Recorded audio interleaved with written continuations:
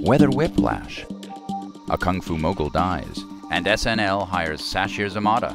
Good afternoon. This is the New York Times Minute. Here's the science behind the historically rapid temperature drop hitting the East Coast today. It occurs when Arctic wind, which normally blows west to east over the North Pole, drops down into the heartland and pushes towards the coasts. Here's the good news. This rapid temperature drop is actually incredibly rare, and it'll be in the 50s this weekend.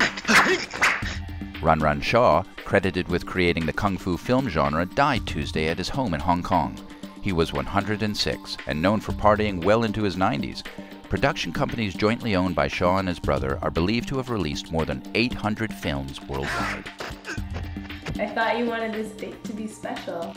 And Sasheer Zamata joins the cast of Saturday Night Live after the show received heavy criticism because there had been no black female cast members in five years. Zamata will make her debut on January 18th. Okay, see you.